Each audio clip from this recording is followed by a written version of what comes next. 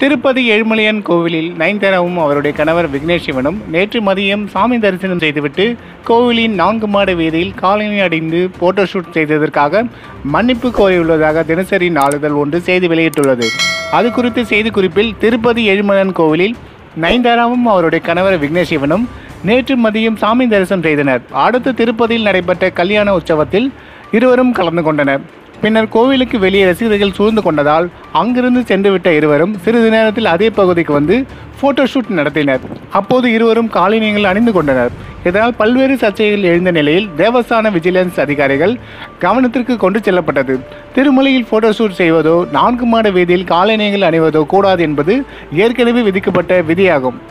இந்த நிலையில் திருப்பதியில் நடந்த தவறுக்கு மன்னிப்பு கோரி தேவஸ்தானத்திற்கு விக்னேஷ் சிவன் எழுதியுள்ள கடிதத்தில் காலனியுடன் நாங்கள் நடமாடியதை கவனிக்க தவறிய செயலுக்காக மன்னிப்பு கோருகிறேன்.